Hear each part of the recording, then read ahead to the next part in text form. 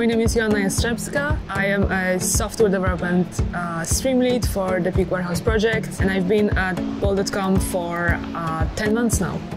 I cover everything software.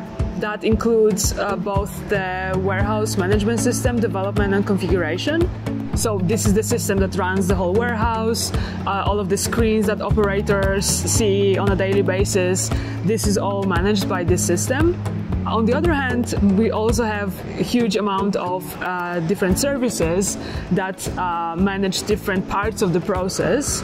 So creating connections between the services and the Peak Warehouse or adding Peak Warehouse to those services, that's also within the scope of what I do.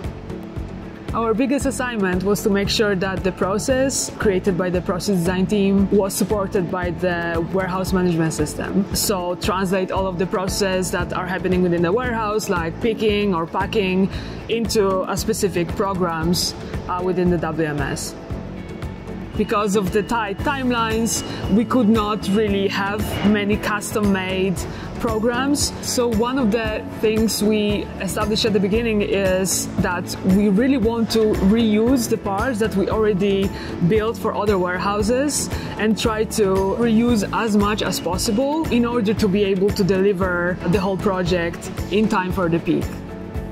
I think the fun part of working for logistics is the mix of uh, tech and operations. So I think working in that narrow space is very cool and very challenging. But also if you're looking for teamwork, if you're looking for colleagues that are always there for you, yeah, Bol.com and logistics department, it's a place for you.